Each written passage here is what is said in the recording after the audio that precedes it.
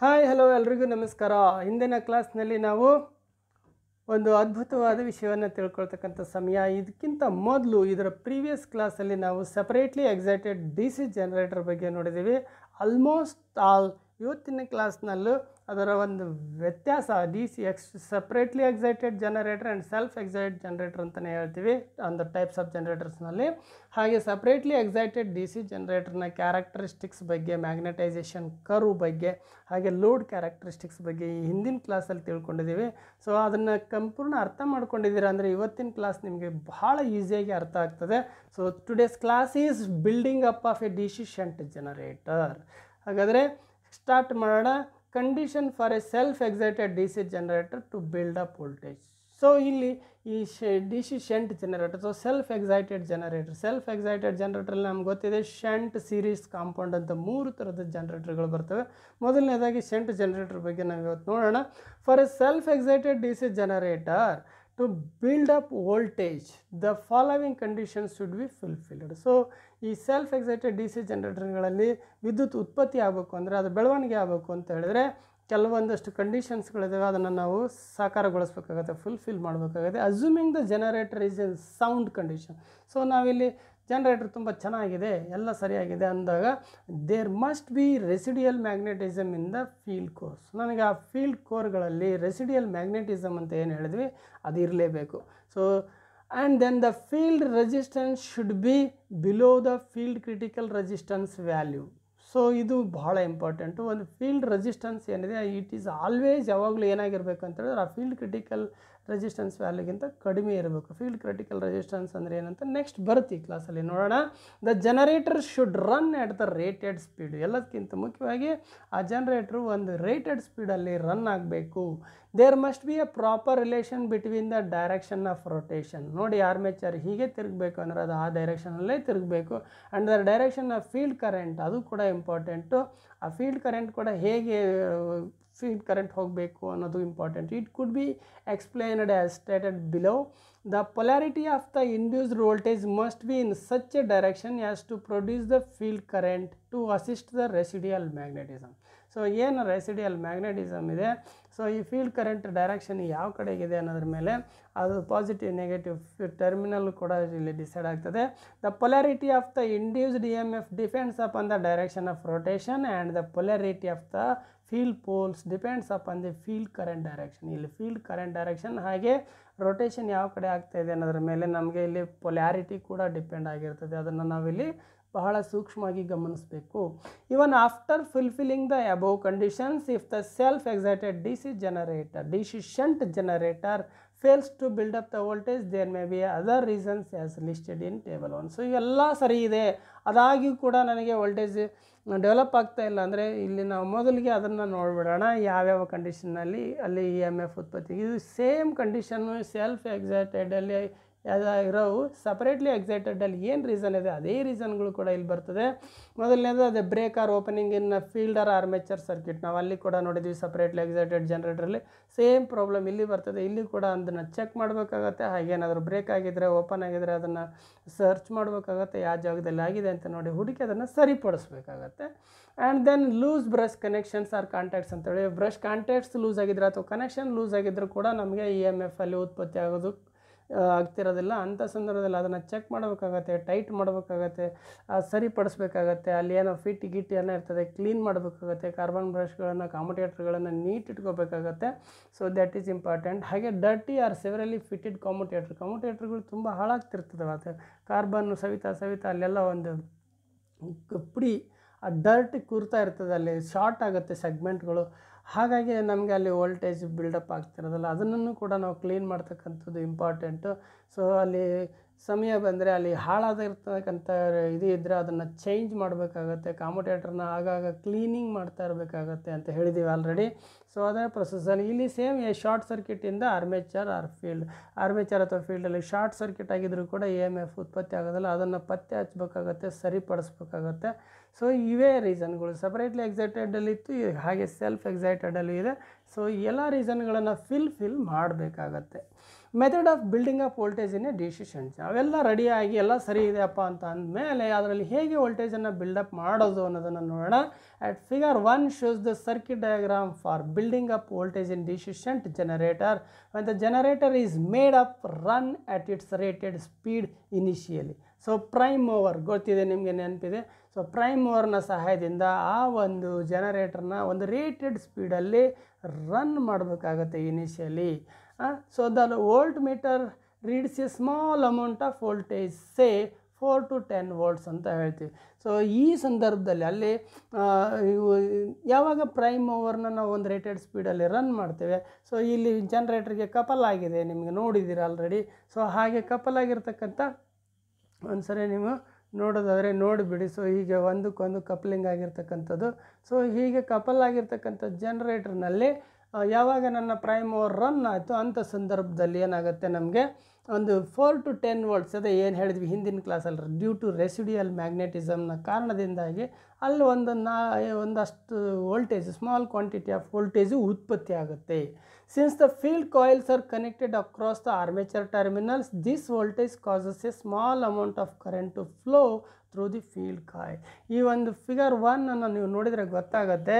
Separately excited ಜನ್ರೇಟರ್ನಲ್ಲಿ ನಾವು ಫೀಲ್ಡ್ಗೆ ಸಪ್ಲೈನನ್ನು ಎಕ್ಸ್ಟರ್ನಲ್ ಡಿ ಸಿ ಸೋರ್ಸ್ ಕೊಟ್ಟಿದ್ದೀವಿ. ಆದರೆ ಇಲ್ಲಿ ಸೇಮ್ ಅದೇ ಆರ್ಮೇಚರ್ನಲ್ಲಿ ಉತ್ಪತ್ತಿಯಾಗಿರ್ತಕ್ಕಂಥದ್ದನ್ನೇ ನಾವಿಲ್ಲಿ ಫೀಲ್ಡಿಗೆ ಕೊಡ್ತಾ ಇದ್ದೀವಿ ನೋಡಿ ಇ ಒನ್ ಇ ಟು ಅಂತಕ್ಕಂಥದ್ದು. ಇಲ್ಲೊಂದು ಶಂಟ್ ಫೀಲ್ಡ್ ವೈಂಡಿಂಗ್ ಆಗಿರ್ತದೆ.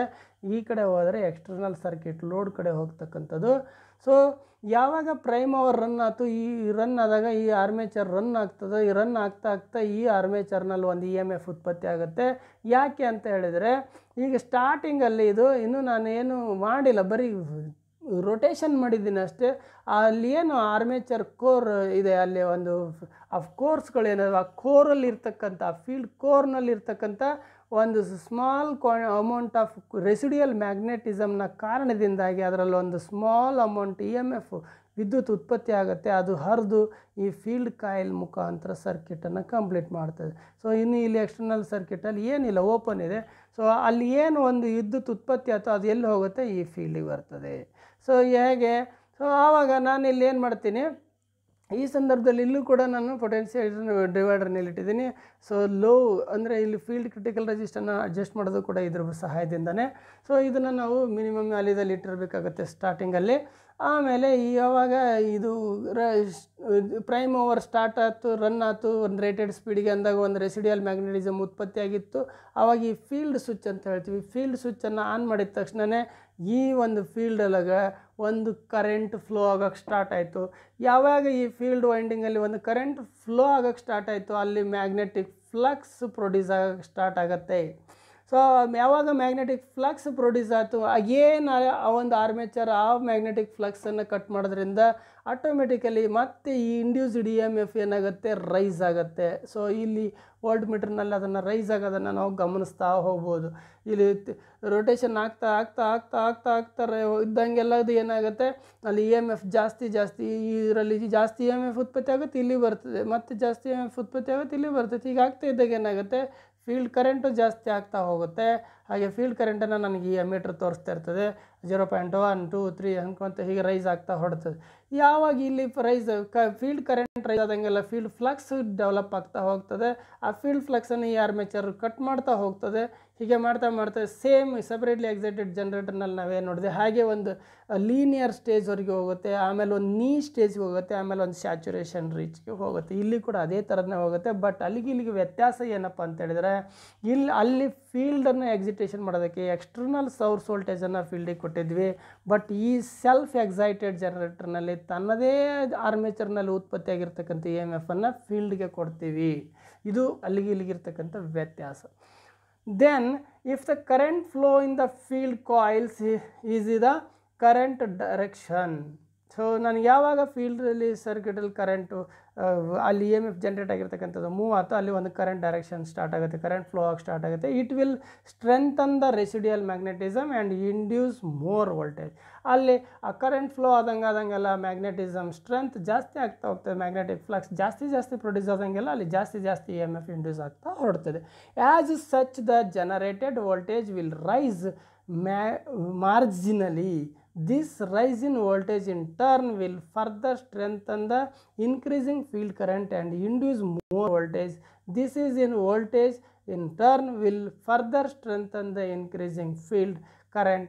This cumulative action will build up voltage until saturation is reached ಏನಪ್ಪ ಅಂತ ಹೇಳಿದ್ರೆ, ಇಲ್ಲಿ ಸ್ಟಾರ್ಟಿಂಗಲ್ಲಿ ಒಂದು ರೆಸಿಡಿಯಲ್ ಮ್ಯಾಗ್ನೆಟಿಸಮ್ ಉತ್ಪತ್ತಿ ಆಯಿತು ಸ್ಟಾರ್ಟಿಂಗಲ್ಲಿ ಅದನ್ನು ನಾನು ಇಲ್ಲಿ ಫೀಲ್ಡ್ ಸ್ವಿಚ್ ಆನ್ ಮಾಡಿ ಫೀಲ್ಡ್ಗೆ ಕೊಟ್ಟೆ. ಆಗ ಫೀಲ್ಡ್ನಲ್ಲಿ ಒಂದು ಇ ಎಂ ಒಂದು ಕರೆಂಟು ಡ್ರಾನ್ ಆಗೋಕ್ಕೆ ಸ್ಟಾರ್ಟ್ ಆಯಿತು. ಆವಾಗ ಅಲ್ಲಿ ಒಂದು ಮೆ, ಹೆಚ್ಚಿನ ಮ್ಯಾಗ್ನೆಟಿಕ್ ಫ್ಲಕ್ಸ್ ಜನ್ರೇಟ್ ಆಯಿತು. ಮತ್ತೆ ಅಗೇನ್ ಆ ಮ್ಯಾಗ್ನೆಟಿಕ್ ಫ್ಲಕ್ಸನ್ನು ಈ ಆರ್ಮೇಚರ್ ಕಟ್ ಮಾಡ್ತಾಯಿದೆ ಮತ್ತೆ ಒಂದು some amount of E M F induce ಆಯಿತು. ಅದು ಮತ್ತೆ ಫೀಲ್ಡ್ ಮುಖಾಂತರ ಹೊರಡ್ತು. ಮತ್ತೆ ಫೀಲ್ಡ್ ಕರೆಂಟ್ ಜಾಸ್ತಿ ಆಯಿತು. ಮತ್ತೆ ಮ್ಯಾಗ್ನೆಟಿಕ್ ಫ್ಲಕ್ಸ್ ಜಾಸ್ತಿ ಆಯಿತು.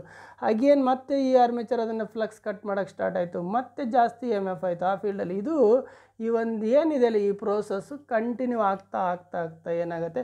ಈ ಕ್ಯುಮ್ಯುಲೇಟಿವ್ ಆ್ಯಕ್ಷನ್ ಅಂತ ಹೇಳ್ತೀವಿ. ರಿಪಿಟೇಷನ್ ಆ ಕ್ಯುಮ್ಯುಲೇಟಿವ್ ಆ್ಯಕ್ಷನಲ್ಲಿ ಏನಾಗುತ್ತೆ? ವೋಲ್ಟೇಜ್ ಹೆಚ್ಚು ಹೆಚ್ಚು ಹೆಚ್ಚು ಬಿಲ್ಡಪ್ ಆಗ್ತಾ ಹೋಗ್ತದೆ. ಎಲ್ಲಿವರೆಗೂ ಅಂತ ಹೇಳಿದರೆ, ಆ ಫೀಲ್ಡ್ ಕೋರ್ಗಳು ಸ್ಯಾಚುರೇಷನ್ ಲೆವೆಲ್ ರೀಚ್ ಆಗೋವರೆಗೂ ಅದು ಹಾಗೆ ಹೋಗ್ತಾ ಇರ್ತದೆ.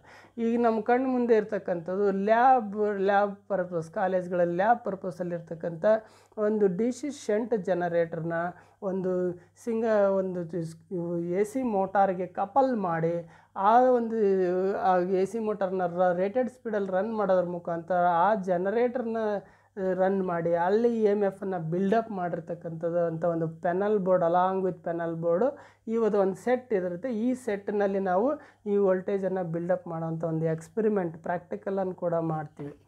ಆಫ್ಟರ್ ಸ್ಯಾಚುರೇಷನ್ ಯಾವಾಗ ಹಾಗೆ ರೇಜ್ ರೈಸ್ ಆಗ್ತದೆ ಸ್ಯಾಚುರೇಷನ್ ಲೆವೆಲ್ಗೆ ಕೋರ್ ರೀಚ್ ಆದವು any increase in the field current will not increase the individual voltage ನೋಡಿ, ಒಂದು ವೇಳೆ ಏನಾದರೂ ಈ ಕ್ಯುಮುಲೇಟಿವ್ ಆ್ಯಕ್ಷನ್ ರಿಪೀಟ್ ರಿಪೀಟ್ ಆಗ್ತಾ ಇರ್ತದೆ, ಈಗ ಆಗ್ತಾನೇ ಇದೆ ಅದು. ಹೆಚ್ಚು ವೋಲ್ಟೇಜ್ ಆಗುತ್ತೆ, ಮತ್ತೆ ಫೀಲ್ಡಲ್ಲಿ ಹೋಗುತ್ತೆ ಫೀಲ್ಡಲ್ಲಿ ಹೆಚ್ಚು ಕರೆಂಟ್ ಫ್ಲೋ ಆಗುತ್ತೆ, ಮತ್ತೆ ಹೆಚ್ಚು ಫ್ಲಕ್ಸ್ ಹಾಗೆ ಹೆಚ್ಚು ಹೆಚ್ಚು ಹೆಚ್ಚು ಆಗ್ತಾನೇ ಹೋಗಿದ್ದಿದ್ರೆ ಇದಕ್ಕೆ ಕೊನೆಯೇ ಇರ್ತಾ ಇರಲಿಲ್ಲ. ಅದು ಹಾಗೇ ಲೀನಿಯರ್ ಸ್ಟೇಜಲ್ಲಿ ಮ್ಯಾಕ್ಸಿಮಮ್ ಮ್ಯಾಕ್ಸಿಮಮ್ ಮ್ಯಾಕ್ಸಿಮಮ್ ಆಗ್ತಾ ಹೋಗ್ತಿತ್ತು. ಒಂದು ಸರ್ಟೆನ್ ಟೈಮ್ಗೆ ಹೋದಷ್ಟೊತ್ತಿಗೆ ಹೈ ಕರೆಂಟು ಫ್ಲಕ್ಸಲ್ಲಿ ಪ್ರೊಡ್ಯೂಸ್ ಫೀಲ್ಡಲ್ಲಿ ಹೋಯಿತು ಅಂದರೆ ಆ ಫೀಲ್ಡೇ ಸುಟ್ಟು ಹೋಗ್ತಿತ್ತು. ಆರ್ಮೇಚರು ಸುಟ್ಟು ಹೋಗ್ತಾ ಇತ್ತು ಅಲ್ವಾ? ಒಟ್ನಲ್ಲಿ ಕಂಪ್ಲೀಟ್ಲಿ ಡೆಸ್ಟ್ರಾಯ್ ಹಾಗೇ ರೈಸ್ ಆಗಿದ್ದರೆ ಸ್ಯಾಚುರೇಷನ್ ಲೆವೆಲಿಗೆ ರೀಚ್ ಆಗದೇನೆ ಸುಮ್ಮನೆ ಹಾಗೆ ಆ ಒಂದು ಪ್ರೋಸೆಸ್ ಕಂಟಿನ್ಯೂ ಆಗ್ತಾ ರೈಸ್ ಆಗ್ತಾ ರೈಸ್ ಆಗ್ತಾ ಹೋಗಿದ್ರೆ ಇಡೀ ಆ ಜನ್ರೇಟರ್ ಸೆಟ್ಟೆ ಡೆಸ್ಟ್ರಾಯ್ ಆಗ್ತಿತ್ತು ಅಲ್ವಾ? ಸುಟ್ಟು ಹಾಳಾಗಿ ಹೋಗ್ತಿತ್ತು. ಬಟ್ ನೋಡಿ ಗಾಡ್ ಗಿಫ್ಟ್ ಆ ಒಂದು ಕೋರು ಒಂದು ಪರ್ಟಿಕ್ಯುಲರ್ ಲೆವೆಲಿಗೆ ಹೋದ ತಕ್ಷಣ ಸ್ಯಾಚುರೇಷನ್ ಆಗುತ್ತೆ. ಸ್ಯಾಚುರೇಷನ್ ಲೆವೆಲಿಗೆ ರೀಚ್ ಆಗುತ್ತೆ ಅಲ್ಲಿಗೆ ಸ್ಟಾಪ್ ಆಗುತ್ತೆ.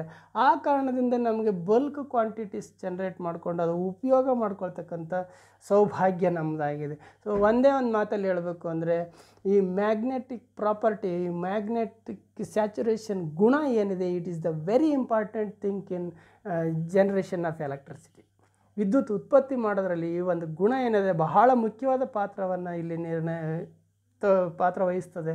That is very important that is the God gift ಅಂತಲೇ ಹೇಳ್ತೀವಿ ನಾವಿಲ್ಲಿ. ಇದು ನಾವೇನು ಮಾಡೋವಂಥದ್ದಲ್ಲ that is the God gift ಅದೊಂದು ಗುಣ, ಅದು ಆ ಮ್ಯಾಗ್ನೆಟಿಕ್ ಪ್ರಾಪರ್ಟಿ ಅದು ಒಂದು ಸೊ ಅದನ್ನು ನಾವಿಲ್ಲಿ ಏನು ಹೇಳ್ತೀವಿ after saturation any increase in the field current ಅದೇ ಹೇಳ್ತೀವಲ್ಲ, ಆ building of a voltage takes a few second so ಇದೆಲ್ಲ ಪ್ರೋಸೆಸ್ ಆಗೋದಕ್ಕೆ ನಮಗೆ ತುಂಬ ಸಮಯ ತೊಗೊಳ್ಳೋದಿಲ್ಲ ಹಾಗೆ ಏನಿಲ್ಲ. ಒಂದು ಪ್ರೈಮ್ ಅವರನ್ನು ರೇಟೆಡ್ ಸ್ಪೀಡಲ್ಲಿ ರನ್ ಮಾಡ್ತೀವಿ. ಫೀಲ್ಡ್ ಸ್ವಿಚ್ಚನ್ನು ಆನ್ ಮಾಡ್ತೀವಿ. ತಕ್ಷಣವೇ ಅದು ಹಾಗೇ ಫೀಲ್ಡ್ ಏನು ರಿಯೋ ರಿಯೋಸ್ಟ್ಯಾಟ್ ಇದೆ. ಫೀಲ್ಡ್ ರಿಯೋ ರಿಯೋಸ್ಟ್ಯಾಟನ್ನು ನಾವು ಆಪ್ರೇಟ್ ಮಾಡೋದ್ರ ಮುಖಾಂತರ ಫೀಲ್ಡನ್ನು ಎಕ್ಸಿಟೇಷನ್ ಮಾಡ್ತಾ ಹೋಗ್ತವೆ. ಆ ಫೀಲ್ಡ್ ಎಕ್ಸಿಟೇಷನ್ ಮಾಡ್ತಾ ಮಾಡ್ತಾ ಹೋದಂಗೆಲ್ಲ ಒಂದು ರೇಟೆಡ್ ಸ್ಪೀಡಿಗೆ ಹೋಗೋವರೆಗೂ ವೋಲ್ಟೇಜು ನಾನು ಅದಕ್ಕಿಂತ ಇನ್ನೂ ಮಾಡ್ತೀನಿ ಅಂತ ಇದ್ರೆ ಅದು ಒಂದು ಪ ನಿರ್ದಿಷ್ಟ ಒಂದು ಇದಕ್ಕೆ ಹೋದ್ಮೇಲೆ ಸ್ಯಾಚುರೇಷನ್ ಲೆವೆಲಿಗೆ ರೀಚ್ ಆದಮೇಲೆ ನಿಲ್ಲುತ್ತದು ಒಂದು ಅಪ್ರಾಕ್ಸಿ ನಾನು ರೇಟೆಡ್ ವೋಲ್ಟೇಜನ್ನು ಒಂದು ಟೂ ಟ್ವೆಂಟಿ ವೋಲ್ಟೇಜಿಗೆ ಮಾಡ್ಕೊಳ್ತೀನಿ. ಬಟ್ ಅದು ಮ್ಯಾಕ್ಸಿಮಮ್ ಅಂದರೆ ಒಂದು ಮುನ್ನೂರು, ಮುನ್ನೂರೈವತ್ತು ವೋಲ್ಟ್ಸ್ ಅಷ್ಟು ಅಷ್ಟೊತ್ತಿಗೆ ಹೋಗೋದಕ್ಕೆ ಅದು ಸ್ಟಾಪ್ ಆಗ್ತಾ ಇರ್ತದೆ. ಅಂದ್ರೆ ಸ್ಯಾಚುರೇಷನ್ ಲೆವೆಲಿಗೆ ಹೋದ ತಕ್ಷಣ ಆ ವೋಲ್ಟೇಜ್ ಅಲ್ಲಿ ಸ್ಟಾಪ್ ಆಗುತ್ತೆ. ಬಟ್ ನಾನು ಆ ಫೀಲ್ಡ್ ರಿಯಸ್ಟೇಟ್ನ ಸಹಾಯದಿಂದ ಏನು ಮಾಡ್ತೀನಿ, ನನಗೆ ಎಷ್ಟು ವೋಲ್ಟೇಜ್ ಬೇಕೋ ಅಲ್ಲಿಗೆ ಅದನ್ನು ಸ್ಟಾಪ್ ಮಾಡ್ಕೊಳ್ತೀನಿ.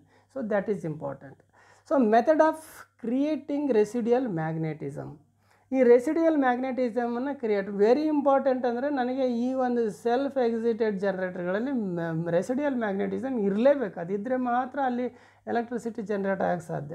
ಹಾಗಾದರೆ ಇದನ್ನು ರೆಸಿಡಿಯಲ್ ಮ್ಯಾಗ್ನೆಟಿಸಮನ್ನು ಕ್ರಿಯೇಟ್ ಮಾಡೋದಾದರೂ ಹೇಗೆ ಅಂತ ನೋಡಿದರೆ without residual magnetism a self excited generator will not build up its voltage a generator may lose its residual magnetism due to any one of the following reasons so ಸಾಮಾನ್ಯವಾಗಿ magnetic field ಏನಿದಾವೆ, ಅವು ನಮಗೆ ಇಲ್ಲಿ ಕೋರ್ಗಳೇನಿದಾವೆ magnetism residual ಮ್ಯಾಗ್ನೆಟಿಸಮನ್ನು ಕಳ್ಕೊಳ್ತಕ್ಕಂಥದ್ದು ಹೇಗುತ್ತೆ ಯಾವಂಥ ಸಂದರ್ಭದಲ್ಲಿ ಆ residual ಮ್ಯಾಗ್ನೆಟಿಸಮ್ನ ಗುಣ ಕಳೆದು ಹೋಗುತ್ತೆ ಅಂತ ಹೇಳಿದರೆ, ಒಂದು, the generator is kept idle for a long time.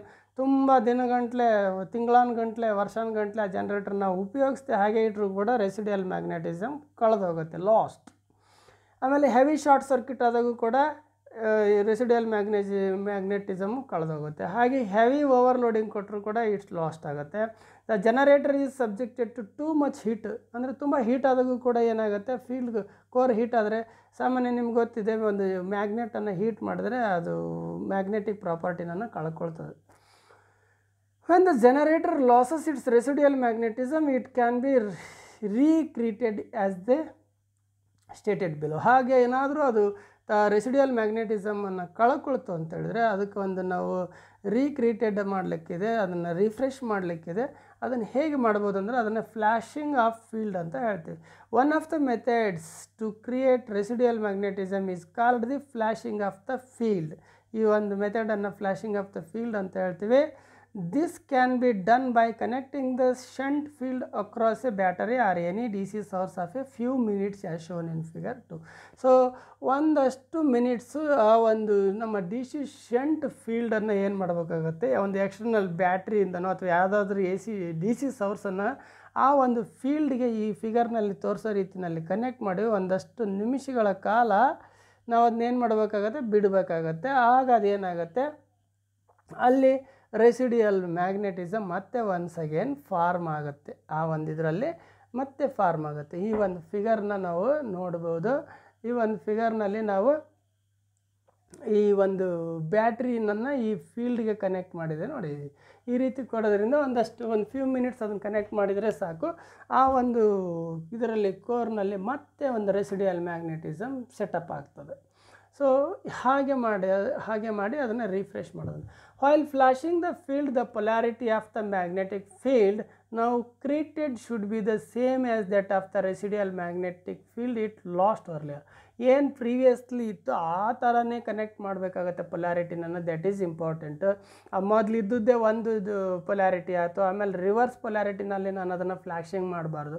ಹಾಗೆ ಮಾಡಿದರೆ ಅಲ್ಲಿ ಮತ್ತೆ ಇ ಎಂ ಎಫ್ ಜನ್ರೇಟ್ ಆಗೋದು ಕಷ್ಟ. ಹಾಗೆ ಪೊಲಾರಿಟಿ ಕೂಡ ಚೇಂಜ್ ಆಗೋ ಸಾಧ್ಯತೆ ಇದೆ in practice this checking may not be possible alternatively note the polarity of the D C supply used for flashing the field and the corresponding field terminals run the generator in the specified direction at its rated speed. ನಾನು ಅದನ್ನು ಅಷ್ಟು ಸುಲಭ ತಿಳ್ಕೊಳಕ್ಕೆ ಬರಲ್ಲ. Flashing ಆಗಿದೆಯಾ? ಇಲ್ಲ. Residual magnetism setup ಆಗಿದೆ ಅಂತ ಕಾಣೋದಿಲ್ಲ. ಅದು ನೋಡೋಕ್ಕಾಗಲ್ಲ. ಒನ್ಸ್ ಅಗೇನ್ ನಾನು ಮತ್ತೆ ಅದನ್ನು ಏನು ಮಾಡ್ಬೋದಾಗತ್ತೆ? ಆ ಪ್ರೈಮ್ ಅವರ್ ಸಹಾಯದಿಂದ ಒಂದು ರೇಟೆಡ್ ಸ್ಪೀಡಲ್ಲಿ ಅದನ್ನು ರನ್ ಮಾಡಬೇಕಾಗತ್ತೆ. ರನ್ ಮಾಡಿ ನೋಡಬೇಕಾಗತ್ತೆ. ಅಲ್ಲಿ ಎಷ್ಟು ಇ ಎಂ ಎಫ್ ಉತ್ಪತ್ತಿ ಆಗ್ತಾಯಿದೆ ಹೇಗೆ ಆಗ್ತಾಯಿದೆ ಅಂತ. Measure the residual voltage induced and its polarity check whether the polarity of the residual voltage is the same as that of the D C generator ಮೊದಲು ಹೇಗಿತ್ತು? ಅದೇ ರೀತಿ ಪೊಲಾರಿಟಿ ಇದೆಯಾ ಇಲ್ಲ ಅಂತ ನೋಡಬೇಕು. ಎಂ ಎಂ ಎಫ್ ಜನರೇಟ್ ಆಗ್ತಾ ಇದೆಯಲ್ಲ ಅಂತೇಳಿ ಗಮನಿಸಬೇಕು. If found reversed flash the field again by connecting the supply voltage in reverse polarity ಒಂದು ವೇಳೆ ನಾನೇನು ರ ಪಾಸಿಟಿವ್ ಅಂತ ಮಾರ್ಕ್ ಮಾಡಿರ್ತೇನೆ ಜನರೇಟರ್ನಲ್ಲಿ ನೆಗೆಟಿವ್ ಆಯಿತು ನೆಗೆಟಿವ್ ಅಂತ ಮಾರ್ಕ್ ಮಾಡಿದ್ದು. ಪಾಸಿಟಿವ್ ಉಲ್ಟಾ ಆಯಿತು ಅಂತೇಳಿ. ರಿವರ್ಸ್ ಆದರೆ ಪೊಲ್ಯಾರಿಟಿ ಆವಾಗ ನಾನೇನು ಮಾಡೋಕ್ಕಾಗತ್ತೆ ಮತ್ತೊಂದು ಸರಿ ಅದನ್ನು ಫೀಲ್ಡನ್ನು ಫ್ಲ್ಯಾಶ್ ಮಾಡ್ಬೇಕಾಗತ್ತೆ. ರಿವರ್ಸ್ ಡೈರೆಕ್ಷನ್ ಕೊಟ್ಟು ಕರೆಂಟ್ನ ಮತ್ತೊಂದು ಸರಿ ರಿಫ್ರೆಶ್ ಫ್ಲ್ಯಾಶಿಂಗ್ ಮಾಡಬೇಕಾಗತ್ತೆ. ಹಾಗೆ ಮಾಡಿದಾಗ ಸರಿ ಆಗುತ್ತೆ ಮತ್ತೆ. So magnetization characteristics of a D C shunt generator ಅಲ್ಲಿ ನಾವು ಆಲ್ರೆಡಿ ಸಪ್ರೇಟ್ಲಿ ಎಕ್ಸೈಟೆಡ್ ಜನ್ರೇಟ್ರದ್ದು ಒಂದು ಮ್ಯಾಗ್ನೆಟೈಸೇಷನ್ ಕ್ಯಾರೆಕ್ಟರಿಸ್ಟಿಕ್ಸನ್ನು ಈ ಹಿಂದಿನ ಕ್ಲಾಸಲ್ಲಿ ನೋಡಿದ್ವಿ. ಸೇಮ್ ಆ್ಯಸ್ ಅದೇ ಥರನ ಆಗ್ತದೆ. The magnetisation characteristics curve shown in figure three gives the relation between the field current and the induced voltage so ಈ ಫೀಲ್ಡ್ ಕರೆಂಟನ್ನು ರೈಸ್ ಮಾಡ್ತಾ ಮಾಡ್ತಾ ಮಾಡ್ತಾ ಫೀಲ್ಡ್ ಎಕ್ಸಿಟೇಷನ್ ಮಾಡಿ ಫೀಲ್ಡ್ ಕರೆಂಟನ್ನು ರೈಸ್ ಮಾಡ್ತಾ ಮಾಡ್ತಾ ಮಾಡ್ತಾ ಇ ಎಂ ಎಫ್ ಇಂಡ್ಯೂಸನ್ನು ರೈಸ್ ಮಾಡ್ತಾ ಹೋಗ್ತೀವಿ. Referring to the E M F equation the induced E M F in the generator is proportional to the flux per pole and the revolution per minute of the generator.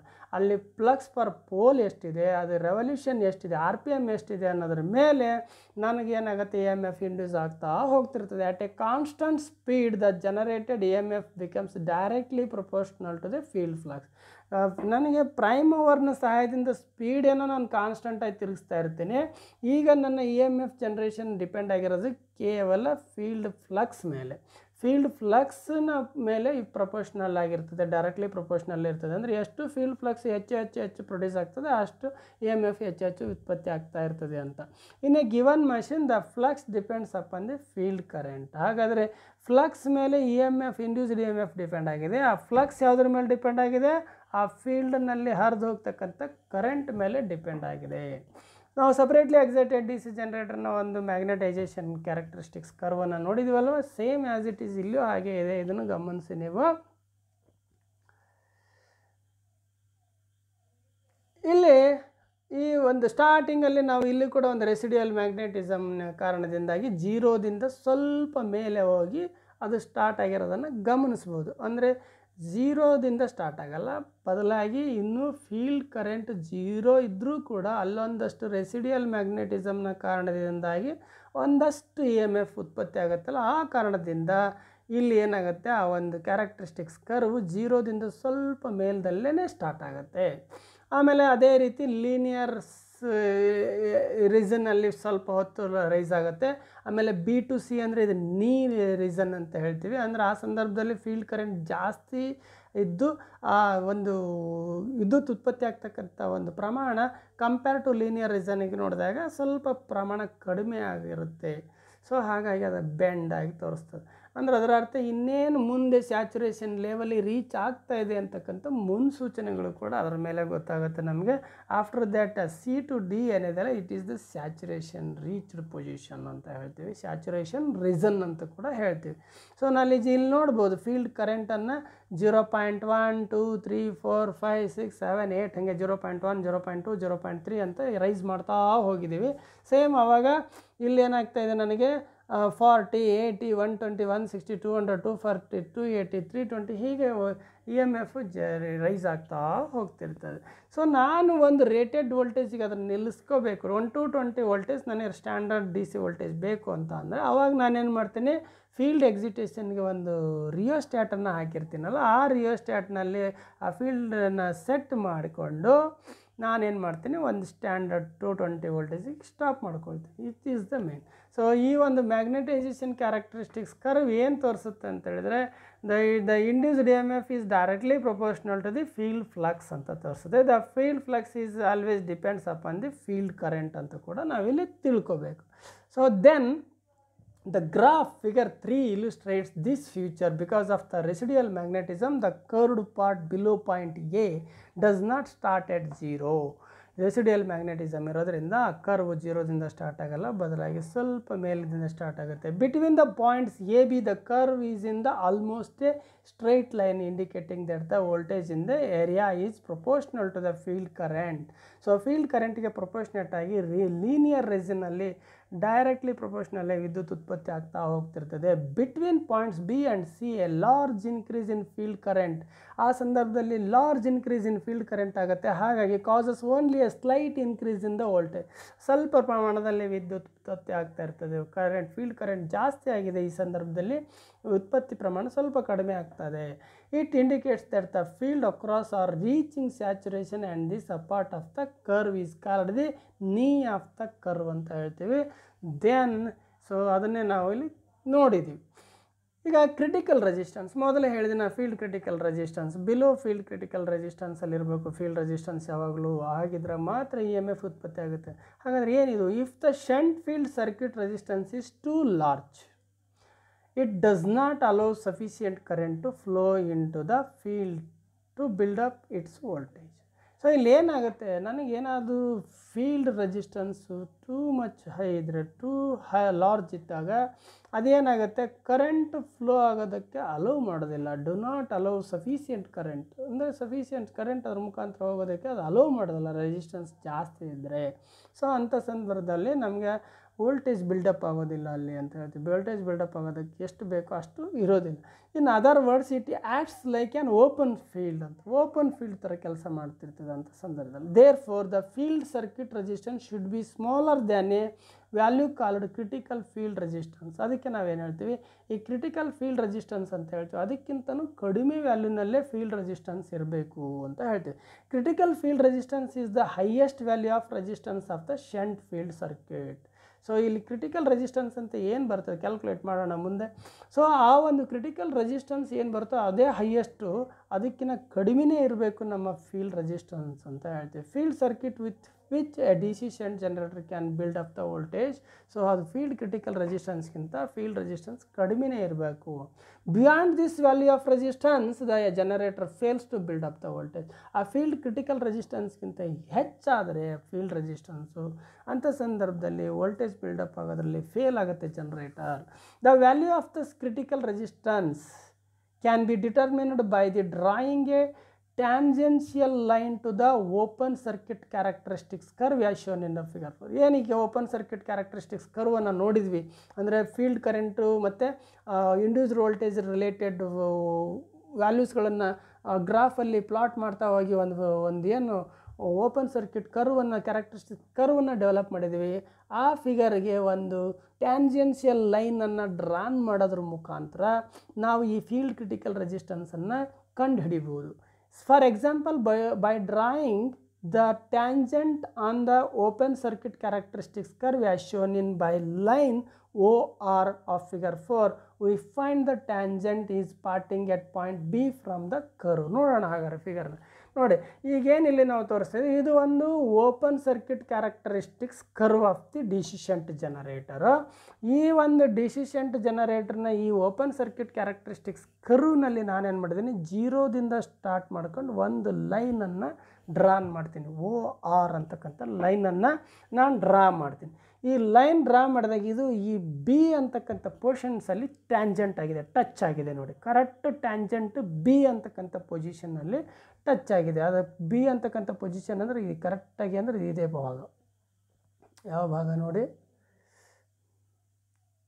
ಈ B ಅಂತಕ್ಕಂಥ ಭಾಗ ಏನಿದೆಲ್ಲ so that is ಈ B ಅನ್ನಕ್ಕಂಥ ಭಾಗದಲ್ಲಿ ಅದು touch ಆಗಿದೆ.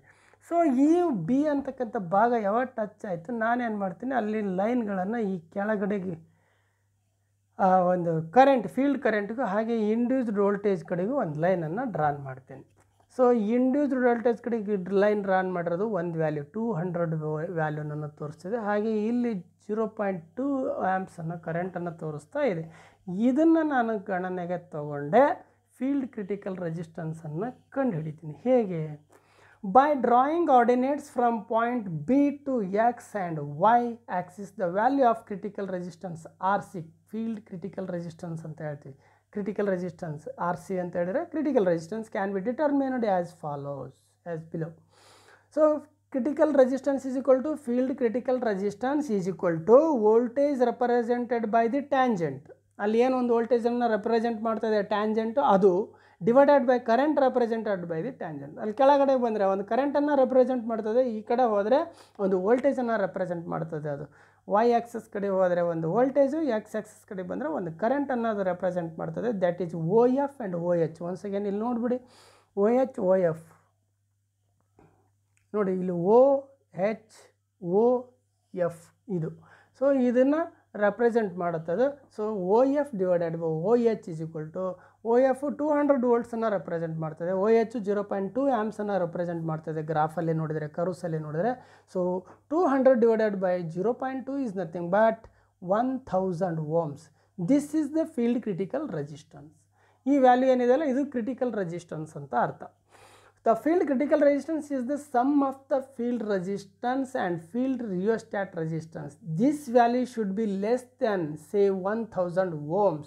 Field critical resistance ಇವಾಗ ಎಷ್ಟಿದೆ ಒನ್ ಥೌಸಂಡ್ ಇದೆ ಈಗ ನನ್ನ ಫೀಲ್ಡ್ ರಿಯೋಸ್ಟ್ಯಾಟ್ ಮತ್ತು ಫೀಲ್ಡ್ನ ರೆಸಿಸ್ಟೆನ್ಸ್ ಎಷ್ಟಿರ್ಬೇಕಂದ್ರೆ ಈ ವ್ಯಾಲ್ಯೂಗಿಂತನೂ ಕಡಿಮೆ ಇರಬೇಕು to enable the generator to build up the voltage if the generator is intended to self exec excite normally this happens when the field regulator resistance is set at high value so ಅದನ್ನು ಒಂದು ಎಷ್ಟು maximum value ಬೇಕೋ ಅಷ್ಟಕ್ಕೆ set ಮಾಡಿ, ಇಲ್ಲಿ field critical ರೆಸಿಸ್ಟೆನ್ಸನ್ನು below field field resistance ರೆಸಿಸ್ಟೆನ್ಸನ್ನು below field critical ರೆಸಿಸ್ಟೆನ್ಸ್ಗೆ ಸೆಟ್ ಮಾಡ್ತಕ್ಕಂಥದ್ದು ಏನಿದೆ ಇಟ್ಸ್ ಅ ವೆರಿ ಇಂಪಾರ್ಟೆಂಟ್ ಹಾಗೆ ಮಾಡಿದಾಗ ಮಾತ್ರ ಅಲ್ಲಿ ನನಗೆ ಇ ಎಂ ಎಫ್ ಉತ್ಪತ್ತಿ ಆಗುತ್ತೆ. ಸೊ ಇವತ್ತಿನ ಈ ಕ್ಲಾಸಲ್ಲಿ ನಾವು ಏನನ್ನು ನೋಡಿದ್ವಿ? ಒಂದು ಡಿ ಸಿ ಶೆಂಟ್ ಜನರೇಟರ್ನಲ್ಲಿ ವೋಲ್ಟೇಜನ್ನು ಹೇಗೆ ಬಿಲ್ಡಪ್ ಮಾಡೋದು ಅನ್ನೋದನ್ನು ನೋಡಿದ್ವಿ. As it is separately excited ಜನರೇಟರ್ನಲ್ಲಿ ಹೇಗೆ ವಿ ಎಂ ಎಫನ್ನು ಉತ್ಪತ್ತಿ ಮಾಡ್ತಾ ಹೋಗಿದ್ವಿ. ಹಾಗೆ ಒಂದೇ ವ್ಯತ್ಯಾಸ, ಅಲ್ಲಿ ಫೀಲ್ಡ್ಗೆ ಎಕ್ಸ್ಟರ್ನಲ್ ಸೋರ್ಸನ್ನು ಕೊಟ್ಟು ಡಿ ಸಿ ಸೋರ್ಸನ್ನು ಕೊಟ್ಟು ಎಕ್ಸೈಟ್ಮೆಂಟ್ ಮಾಡ್ತೀವಿ ಎಕ್ಸಿಟ್ ಫೀಲ್ಡ್ ಎಕ್ಸಿಟೇಷನ್ ಮಾಡಿ ಇ ಎಂ ಎಫನ್ನು ಜನ್ರೇಟ್ ಮಾಡಿದ್ವಿ. ಬಟ್ ಇಲ್ಲಿ ಅದರಲ್ಲೇ ಉತ್ಪತ್ತಿ ಆಗಿರ್ತಕ್ಕಂಥ ಇ ಎಂ ಎಫನ್ನೇ ಫೀಲ್ಡಿಗೆ ಕೊಡ್ತೀವಿ. ಸೊ ಅದ್ರ ಸಹಾಯದಿಂದನೇ ಇಲ್ಲಿ ಇ ಎಂ ಎಫನ್ನು ಉತ್ಪತ್ತಿ ಮಾಡ್ತಾ ಹೋಗ್ತೇವೆ. ಅಲ್ಲಿಗೆ ಇಲ್ಲಿಗಿರೋ ವ್ಯತ್ಯಾಸ ಅಷ್ಟೇ ಸೊ ಅಲ್ಲಿಗೆ ಯಾವ್ಯಾವ ಕಾರಣದ ಇದ್ದಾಗ ನಮಗೆ ಇ ಎಂ ಎಫ್ ಉತ್ಪತ್ತಿ ಆಗಲ್ಲ ಅನ್ನೋದನ್ನು ನೋಡಿದ್ದೀವಿ ಅದನ್ನು ಹೇಗೆ ಸರಿ ಮಾಡೋದು ಅಂತಕ್ಕಂಥದ್ದನ್ನು ನೋಡಿದ್ದೀವಿ ಹಾಗೆಯೇ ಇಲ್ಲಿ ಹೇಗೆ ವೋಲ್ಟೇಜನ್ನು ಬಿಲ್ಡಪ್ ಮಾಡೋದು? ಆ ಪ್ರೈಮ್ ಮೂವರ್ನ ರೇಟೆಡ್ ಸ್ಪೀಡಲ್ಲಿ ಮೂವ್ ಮಾಡ್ತೀವಿ, ಅಲ್ಲಿ ಆರ್ಮೇಚಲ್ಲಿ ರೊಟೇಟ್ ಆಗುತ್ತೆ ಒಂದು ರೆಸಿಡಿಯಲ್ ಮ್ಯಾಗ್ನೆಟಿಸಮ್ನ ಕಾರಣದಿಂದ ಒಂದು small amount of E M F ಉತ್ಪತ್ತಿ ಆಗುತ್ತೆ, ಅದನ್ನು ಫೀಲ್ಡ್ಗೆ ಕೊಡ್ತೀವಿ. ಹಾಗೆ ಫೀಲ್ಡ್ಗೆ ಮತ್ತೆ ಕರೆಂಟ್ ಜಾ ಫ್ಲೋ ಆಗುತ್ತೆ ಫೀಲ್ಡಲ್ಲಿ ಆವಾಗ ಅಲ್ಲಿ ಒಂದಷ್ಟು E M F flux generate ಆಗುತ್ತೆ. ಆ ಫ್ಲಕ್ಸನ್ನು ಮತ್ತೆ ಆರ್ಮೇಚರ್ ಕನೆಕ್ಟ್ ಮಾಡ್ತದೆ. ಹೀಗೆ ಕಂಟಿನ್ಯೂಸ್ ಇದೇ ಪ್ರೊಸೆಸ್ ಕಂಟಿನ್ಯೂ ಆಗಿ ಎಂ ಎಫ್ ಫೀಲ್ಡ್ ಸರ್ಕ್ಯೂಟ್ನ ಫೀಲ್ಡಲ್ಲಿ ಕರೆಂಟ್ ಜಾಸ್ತಿ ಆದಂಗೆಲ್ಲ ಫೀಲ್ಡ್ ಫ್ಲಕ್ಸ್ ಜಾಸ್ತಿ ಆಗ್ತಿರ್ತದೆ. ಹಾಗೆಯೇ ಫೀಲ್ಡ್ ಫ್ಲಕ್ಸ್ ಜಾಸ್ತಿ ಆದಂಗೆಲ್ಲ ಇಂಡ್ಯೂಸ್ ಡಿ ಎಂ ಎಫ್ ಜಾಸ್ತಿ ಆಗ್ತಾ ಹೋಗ್ತದೆ. ಈ ರೀತಿಯಾಗಿ ಅಲ್ಲಿ ನನಗೆ ವೋಲ್ಟೇಜ್ ಬಿಲ್ಡಪ್ ಆಗ್ತಾ ಹೋಗ್ತದೆ. ಸೊ ಅದರ ಒಂದು ಮ್ಯಾ ಕರ್ವನ್ನು ನಾನು ಇಲ್ಲಿ ನೋಡಿದೆ. ಹಾಗೆ ರೆಸಿಡಿಯಲ್ ಮ್ಯಾಗ್ನೆಟಿಸಮ್ ಇಂಪಾರ್ಟೆನ್ಸ್ ಏನದು? ಯಾವಾಗ ರೆಸಿಡಿಯಲ್ ಮ್ಯಾಗ್ನೆಟಿಸಮ್ ಲಾಸ್ ಆಗುತ್ತೆ? ಅದನ್ನು ಮತ್ತೆ ಒಂದು ಸೆಕೆಂಡ್ ಸೆಟಪ್ ಮಾಡೋದು ಹೇಗೆ ಅಂತ ನೋಡಿದ್ವಿ. So this is the very important ಹಾಗೆಯೇ ಮ್ಯಾಗ್ನೆ ಮ್ಯಾಗ್ನೆಟೈಸೇಷನ್ ಕರ್ವನ್ನು ನೋಡಿದ್ವಿ. ಅಂದರೆ ಇ ಎಂ ಎಫ್ ಉತ್ಪತ್ತಿ ಹೇಗಾಗುತ್ತೆ ಅಲ್ಲಿ? ಅದರ ಒಂದು ಮ್ಯಾಗ್ನೆಟೈಸೇಷನ್ ಕರ್ವ್ ಹೇಗಿರ್ತದೆ? ಎ ಟು ಬಿ ಲೀನಿಯರ್ ರೆಸಿನ್ನಲ್ಲಿ ಹೇಗೆ directly proportional to the field flux induced M F directly proportional to the field ಫ್ಲಕ್ಸ್ಗೆ depend ಆಗಿದೆ. ಹಾಗೆ ಬಿ ಟು ಸಿ ಒಂದು ನೀ ರೆಸಿನ್ ಅಂತ ಹೇಳ್ತೀವಿ. ಈ ಸಂದರ್ಭದಲ್ಲಿ ಫೀಲ್ಡ್ ಕರೆಂಟ್ ಜಾಸ್ತಿ ಇದ್ದು ಕಾರಣದಿಂದಾಗಿ ಅಲ್ಲಿ ಜನರೇಟೆಡ್ ಇ ಎಂ ಎಫ್ ಸ್ವಲ್ಪ ಪ್ರಮಾಣದಲ್ಲಿ ಕಡಿಮೆ ಇರ್ತದೆ. ಹಾಗೆ ಮುಂದೆ ಸಿ ಟು ಡಿ ಅದು ಸ್ಯಾಚುರೇಷನ್ ಲೆವೆಲ್ ರೀಚ್ ಆಗಿ ಒಂದು ಕಾನ್ಸ್ಟಂಟ್ ವೋಲ್ಟೇಜನ್ನು ಬಿಲ್ಡಪ್ ಮಾಡೋಕ್ಕೆ ಸ್ಟಾರ್ಟ್ ಆಗುತ್ತೆ ಅಂತೇಳಿ ಇಲ್ಲಿ ನೋಡಿದ್ವಿ. ಸೊ ಹಾಗೆಯೇ ಕ್ರಿಟಿಕಲ್ ರೆಸಿಸ್ಟೆನ್ಸ್ ಅಂದರೆ ಏನು? ಆ ಕ್ರಿಟಿಕಲ್ ರೆಸಿಸ್ಟೆನ್ಸನ್ನು ಕಂಡು ಹಿಡಿಯೋದು ಹೇಗೆ? ಮತ್ತು ಫೀಲ್ಡ್ ಕ್ರಿಟಿಕಲ್ ರೆಸಿಸ್ಟೆನ್ಸ್ ಫೀಲ್ಡ್ ರೆಸಿಸ್ಟೆನ್ಸ್ಗೂ ಫೀಲ್ಡ್ ಕ್ರಿಟಿಕಲ್ ರೆಸಿಸ್ಟೆನ್ಸ್ಗೆ ಇರ್ತಕ್ಕಂಥ ಒಂದು ರಿಲೇಷನ್ಶಿಪ್ ಹೇಗಿರಬೇಕು? ಇದೆಲ್ಲವನ್ನು ನೋಡಿದ್ದೀವಿ. ಮುಂದಿನ ಕ್ಲಾಸ್ನಲ್ಲಿ ಟೆಸ್ಟೆಡ್ ಡಿ ಸಿ ಮಷಿನ್ ಅಂತೇಳಿ ಬರ್ತದೆ. ಅದನ್ನು ಒಂದು ಓಪನ್ ಸರ್ಕ್ಯೂಟು ಶಾರ್ಟ್ ಸರ್ಕ್ಯೂಟು ಅದು ಹೇಗಿದೆ, ಏನು ಎತ್ತ ಅಂತೇಳಿ ನೋಡ್ತಕ್ಕಂಥದ್ದು ಮುಂದಿನ ಕ್ಲಾಸಲ್ಲಿ ನೋಡೋಣ. ಅಲ್ಲಿವರೆಗೂ ಎಲ್ಲರಿಗೂ ಶುಭವಾಗಲಿ ಶುಭ ದಿನ